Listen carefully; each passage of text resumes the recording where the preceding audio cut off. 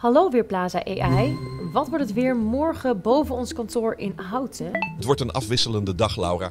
Tot 11 uur 55 is er nog zon, maar vanaf dan raakt het bewolkt. Tussen 12 uur 5 en 12 uur 16 trekt er een bui over, waarbij er 3,7 mm regen valt.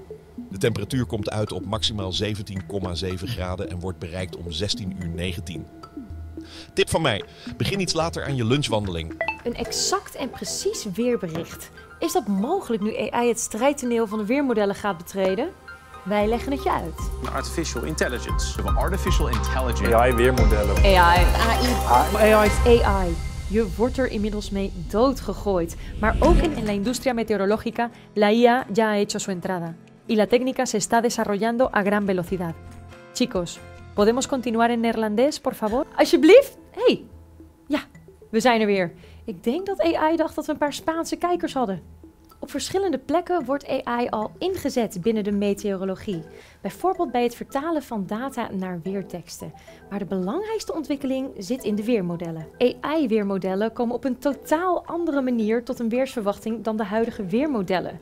De zogenaamde NWP's, Numerical Weather Prediction. NWP's werken met natuurkundige vergelijkingen. Als uitgangspositie voor een model zijn veel weerwaarnemingen nodig, zoals temperatuur, luchtdruk, luchtvochtigheid, windkracht, etc. En al die metingen worden over heel de wereld gedaan en verzameld in een computer. En van daaruit wordt een 3D-grid gemaakt, een soort simulatie van de atmosfeer. Vervolgens gaat het model rekenen om tot een verwachting te komen. Dit is een intensief proces dat veel tijd kost en waar grote supercomputers voor nodig zijn. Ook het Europese ECMWF heeft zo'n supercomputer. De weermodellen hebben zich de afgelopen jaren sterk ontwikkeld. Zo'n 40 jaar geleden was een weersverwachting van een weercomputer voor drie dagen ongeveer net zo goed als een weersverwachting nu voor zeven dagen. Dat komt doordat computers steeds meer rekenkracht hebben. En die rekenkracht, ja, daar zit natuurlijk op een gegeven moment een keer een limiet aan en dan bereikt die zijn top. Toch is er een nieuwe speler op de markt gekomen die de weersverwachting mogelijk nog veel sneller en nauwkeuriger kan gaan maken: de AI-weermodellen. En over die ontwikkeling kan collega Christian Versloot ons meer vertellen. Zeker. Uh, AI-weermodellen worden getraind op hele grote hoeveelheden data. En dat werkt anders dan klassieke weermodellen die met natuurkundige formules werken. Het gaat dan vaak om 40 jaar aan data, eigenlijk historische gegevens, waarbij een AI-model leert van voorbeelden hoe de weersverwachting zal zijn. AI-modellen zijn heel erg goed in het leren van patronen. Als je bijvoorbeeld heel veel foto's hebt van honden en heel veel foto's hebt van katten, kan een AI-model daar leren onderscheid in te maken. En diezelfde technologie die heel erg is doorontwikkeld, wordt nu ook ingezet voor het maken van weersverwachtingen met AI-weermodellen. De afgelopen jaren zien we echt dat er heel veel voortgang wordt geboekt uh, bij AI-weermodellen. Een jaar of vijf geleden waren mensen nog heel erg sceptisch of dat überhaupt wel zou kunnen. Maar sinds een jaar of twee zie je dat veranderingen echt heel erg snel gaan met uh, iedere paar weken tot maanden wel weer nieuwe uh, ontwikkelingen. Kun je voorbeelden noemen waar die ontwikkelingen zichtbaar in zijn? Ja, uh, een aantal jaren geleden zagen we dat AI-weermodellen zoals Pangu Weather of uh, Graphcast uh, weersverwachtingen konden maken globaal op 25 bij 25 kilometer resolutie. Tegenwoordig zie je al dat er hele nieuwe modellen zijn die op veel hogere resolutie weersverwachtingen kunnen maken, een paar bij een paar kilometer. En ook ensemble modellen waar eigenlijk heel veel verwachtingen naast elkaar worden gemaakt om onzekerheid in het weer te kunnen aangeven.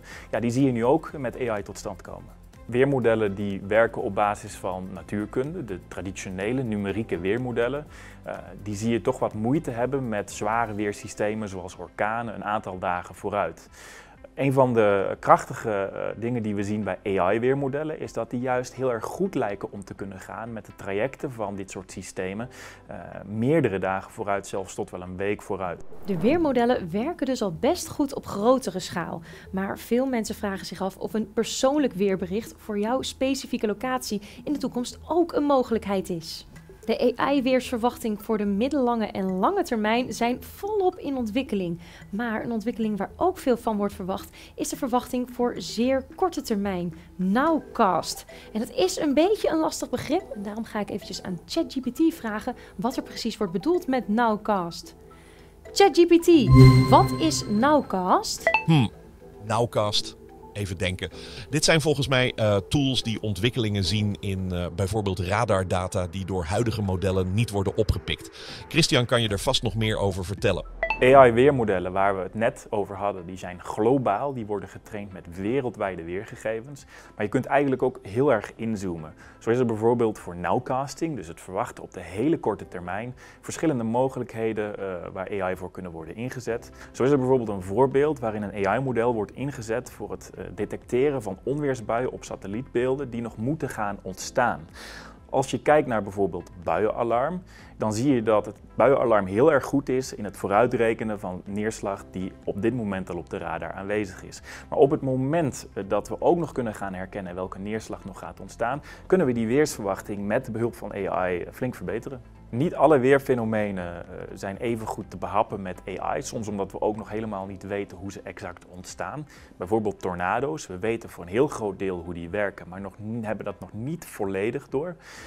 AI kan grappig genoeg ook helpen bij het opbouwen van begrip over hoe dat dan precies werkt. Als je het hebt over satellietbeelden bijvoorbeeld, hebben we gezien dat bepaalde patronen aanslaan bij het maken van zo'n AI-verwachting. En die patronen kun je dus eigenlijk ook weer omkeren, zodat de mensen die verstand hebben van het weer beter leren snappen hoe zoiets tot stand komt. Moeten we er rekening mee houden dat AI-modellen de nieuwe weermodellen gaan worden? Het is heel lastig te beantwoorden of de AI-modellen de klassieke weermodellen gaan vervangen. Uh, we weten het eigenlijk nog niet, want ze hebben ook nog best wel wat valkuilen. Ze zijn niet altijd even goed.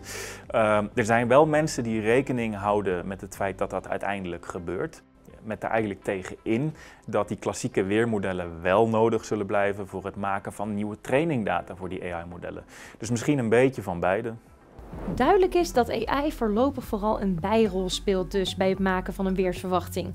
Een meteoroloog is nog steeds nodig om onzekerheden aan te geven. Maar de ontwikkelingen gaan razendsnel en het zou best wel eens zo kunnen zijn dat in de toekomst AI inderdaad onze weersverwachtingen gaat maken. Hallo ChatGPT, daar ben ik weer. Hoi Laura, leuk je weer te zien. Zou jij door het zien van deze video abonneren op ons YouTube kanaal? Absoluut. Deze video is zowel leerzaam als vermakelijk. Als het kanaal dit soort goede content blijft maken over het weer, dan is abonneren net zo goed idee als het bijhebben van een paraplu bij een onverwachte bui. Hahaha.